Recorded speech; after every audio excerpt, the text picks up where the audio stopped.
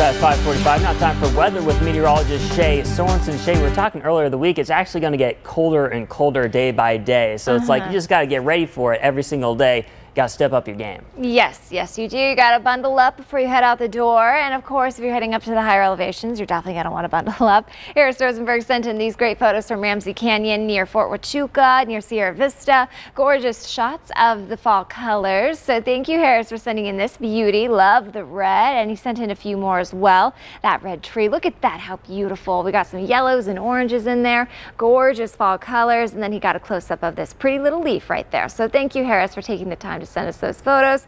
And if you do plan to go head up to the higher elevations uh, this week or this weekend, here's just a look at the peak fall colors. Uh, we're past peak for Hannigan Meadow and Mount Graham. We're very close to peak, if not uh, getting past peak for Mount Lemmon.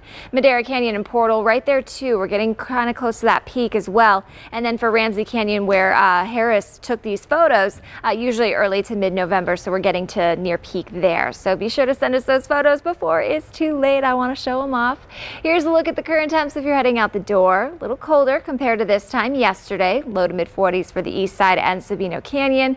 Low to mid 50s for Midtown, the airport and Davis Monthan. Upper 50s, a little bit warmer up towards Oro Valley. Colder though to the south and east. Sonoita waking up to 34, so just barely holding on above freezing there. 47 in Bisbee, 56 in Portal, and 41 for our friends in Sasabe.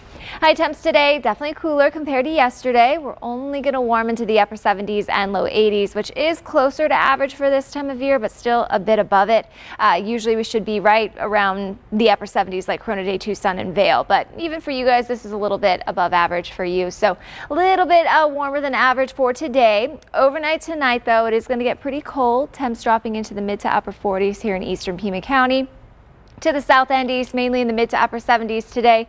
Overnight tonight, we should see a few more 30s on the board, so mainly 30s and 40s to the south and east. For your future cast, a few high clouds will be rolling through not only uh, this morning, but into the very early part of the afternoon. And some green is showing up on our map here, but I would not get your hopes up.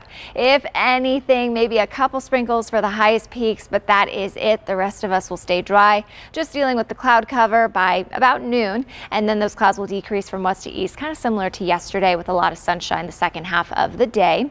By early tomorrow morning, it's going to be a cold start, but we're going to be waking up to a few clouds, so sunrise could be pretty nice. So get those cameras ready tomorrow morning, and then lots of sunshine the second half of the day. So uh, as we head into the next few days, it's kind of just rinse and repeat, very repetitive. But tomorrow will be the coolest day as this cooler air settles in. So Wednesday's high in the warmer spots, upper 70s. So that means potentially 60s to the south and east in a couple spots.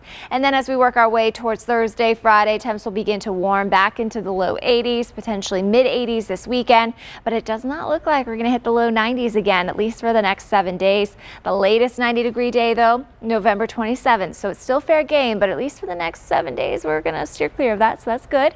And then as we head into early next week to midweek next week around this time, temperatures could drop back into the upper 70s. So here's a look at your seven day forecast.